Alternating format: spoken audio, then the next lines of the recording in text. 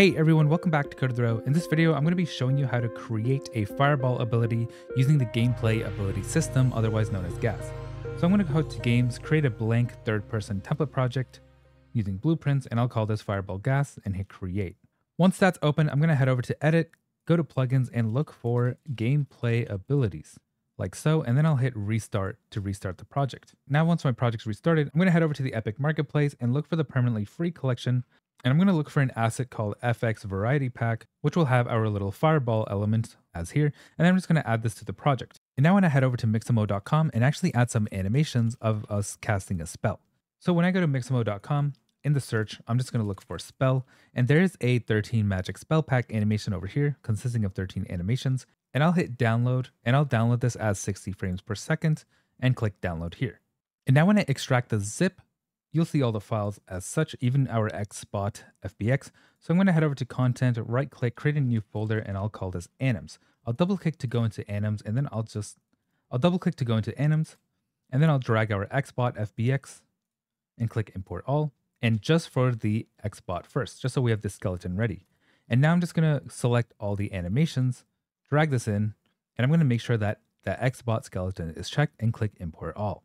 And once these are all imported, I'm just going to select all the animation sequences by left clicking the first one and shift clicking the last one, right clicking, and I'm going to retarget these animations. And I'll target the skeletal mesh that we're currently using on our third person character, which is the SKM Quinn Simple, like so. And you can double click any of these animations to preview how it's going to look on your character. So I'll hit Control A or hold Control and click A to select all of these, and I'll click Export Animations. And for the prefix, I'm just going to do something like A underscore, and select the anims folder and export all of these here. And the one that I'm specifically going to be using is this A standing 1H magic attack 01, like so. So as you can see, it's him just throwing out a spell. And I want to make sure that the spell actually throws out when the hand reaches around here. So I'll go to content and then I'll right click in my content browser and under blueprint class, I'll select blueprint class and under all classes, I'm going to look for gameplay ability like so. And I'll hit next and I'll call this something like GA underscore fireball. And I'll double click to open this up. And now what we want to do is we'll notice quite a few things. So class defaults will be selected and you'll see on the right, we have these ability tags and a bunch of tags that we can worry about. And for the purpose and easeability of this tutorial, I'm only going to worry about this one ability tag, which is going to reference our GA underscore fireball. So when I click this drop down, I can click on this green plus icon to add certain tags. So I'll add one called spell.fireball. And the source will be our gameplay, our default gameplay tags.ini, which we can also edit from our project files itself. But for this case, we're just going to keep it all in blueprints. So I'll click add new tag and make sure this is selected. If you wanted to add multiple spells, you can simply just go to the name and do something like spell dot let's do ice wall for example and hit add tag and you'll see that it'll automatically add under your spell over here so it'll nest however many times you name something as long as you add a period in between the names. For the purpose of this tutorial, we'll be selecting that spell.fireball. And all we want to do is when we activate this ability using event activate ability, we're going to play a montage and wait. And I want to go back and actually create an animation montage. And we want to create a montage to add some notifiers. And these notifiers will give information and data to our animation in order to tell our ability when to actually spawn and launch. So I'll head back to my animations that we were looking at and if you still have this tab open, you, you can hold Control and B in order to go directly to that folder. So I'll right click and under Create, I'll click Create Anim Montage and I'll call this AM underscore spell attack. So I'll double click to open this up. And now we can see the exact same animation and we have this notify track over here, which is how we're going to be passing data to our character and our spell on when to actually launch our spell around here. And now when I go back to GA Fireball, I can select that montage that we created by clicking on this dropdown.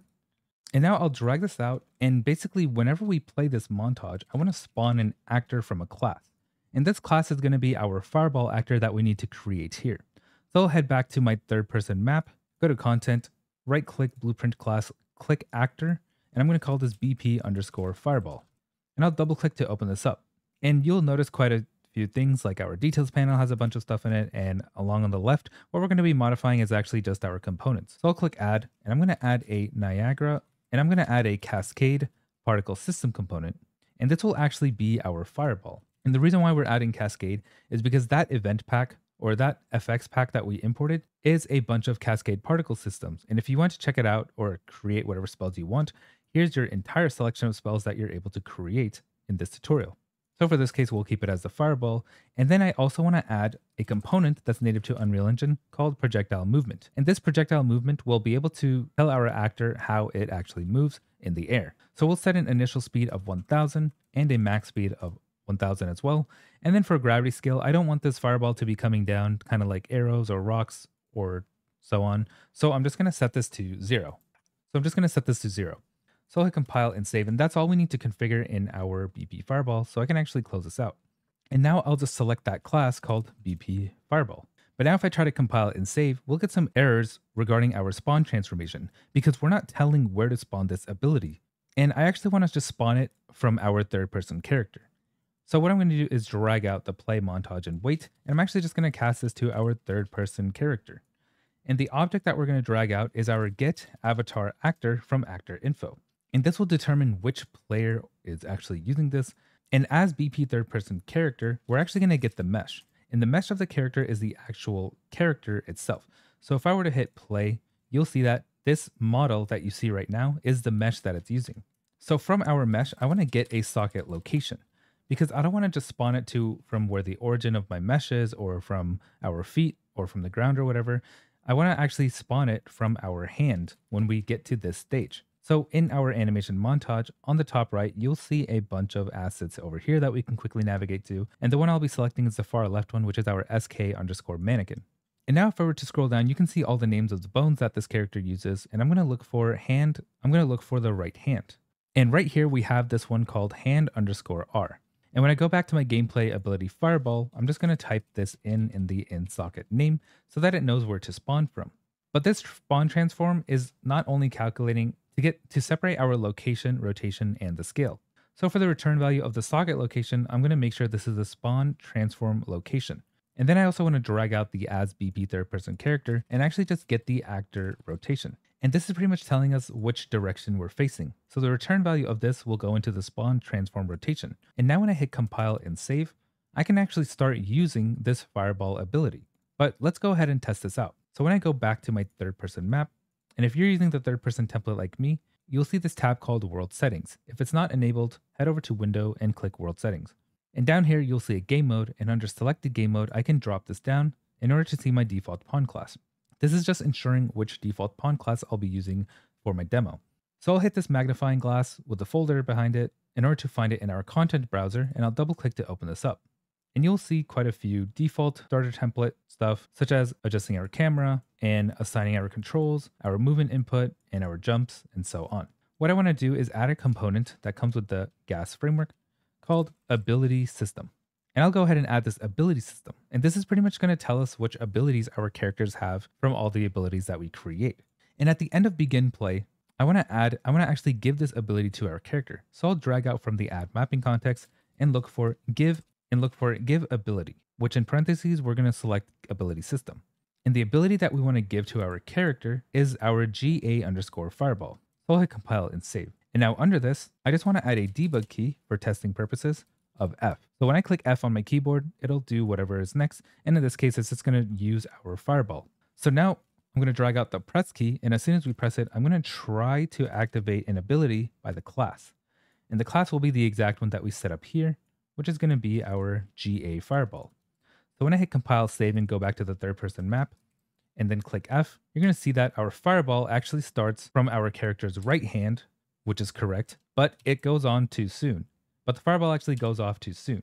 We want it to happen after we shoot it outwards. And in order for us to do that, we need to create something called an anim notify. So kind of like we talked about notifies briefly in the animation montage, you'll see this notify section here that we can add to. In here, we're going to be able to add some sort of event data telling our character when to receive this information. And then we also need to put it in our gameplay ability of when to actually spawn the actor. So let's go ahead and do that. So I'm going to right click and at the content browser, go to blueprint class and look for an anim notify. And then I'll hit select and I'll call this an underscore spell attack. So I'll double click to open up this an underscore spell attack. And on the left, you'll see functions. Since we want to receive some sort of notification or some data, I'm going to click override and click on receive notify. And from here, for the mesh comp, we can just get the owner, which is going to be our actor component. And then from our actor component, we want to set the gameplay event. So from our get owner, we're going to send the gameplay event to the actor. And this actor will be an event tag, and we're going to be transferring the information through an event tag. So I'm going to right click event tag and promote this to a variable, and I'll just leave the name as event tag. And I'll make sure I connect the execution pins properly. So I'll hit compile and save. And one more thing we need to do is event tag needs to actually be visible. And in order for us to make it visible, we can hit this eye icon over here. And now you'll see that instance editable is checked. And this tells us when to re actually receive the data and that we can actually plug in whatever event tag we want to. And now that this event tag is public or visible, now that this event tag is instance editable, I want to make sure that we have a way to tell our gameplay ability fireball to wait for that event to actually happen and when to receive the event. So after our play montage and wait, I'll drag this out and look for a wait gameplay event. In this event, we need to create a tag that's going to reference both the anim notify and this, because this is where it's going to help us proceed to the following steps. So once we get that information, we'll be able to proceed to the next steps. So I'll go ahead and create an event tag by clicking this arrow clicking the plus sign, and I'll do something like event.montage.fireball. And then for the source, I'll add a default gameplay tags.ini and click add new tag and make sure this is selected. Now currently, this is just going to execute no matter what. Even after we just wait gameplay event, it's not actually going to wait till the event's received, which is why there's an execution pin here called event received. So I'm going to hold alt and click on this execution pin to unpin it. And then I want to I want this wait gameplay event to actually happen until we receive the event. So I'll just drag this to cast third person so that once we get this event.montage.fireball, then we can proceed with the rest.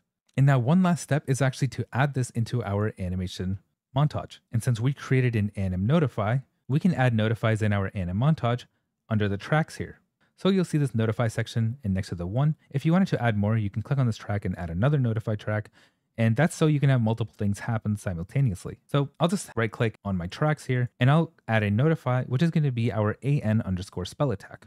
And I want this to take place exactly when I want that fireball to launch, which is going to be right around here. And now you'll see that when I left click on this an underscore spell attack, there's an event tag here. And we want this event tag to match the one in our gameplay ability called event montage fireball. So over here, I'm going to select, and actually before I select that, the reason why we made this instance editable earlier. So if we head back to our AN spell attack, this eye icon or checking this instance editable, and if I hit compile, if I uncheck this and go back to my spell attack, you'll see that now I can't actually pass that information here, which is why it's really important for us to make sure instance editable is checked, or you can simply do that by clicking this eye icon.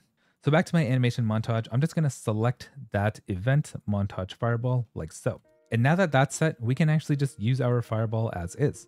So when I head back to my third person map and use this ability, it's going to cast the animation and only play at the end of that or where it's, it's only going to play when that information is received. So exactly when the hand sticks out.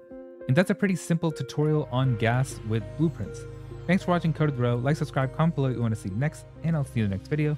Thanks for watching.